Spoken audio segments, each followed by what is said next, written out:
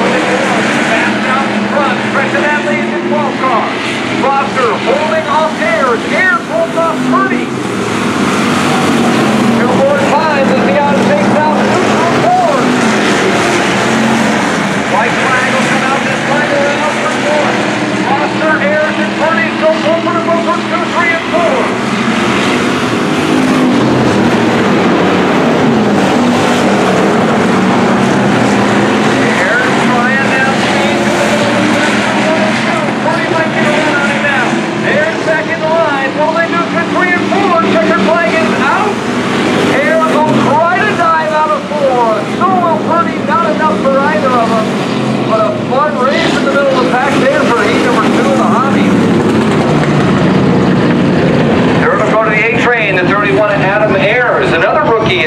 place. That's the 17 F of Nick Foster.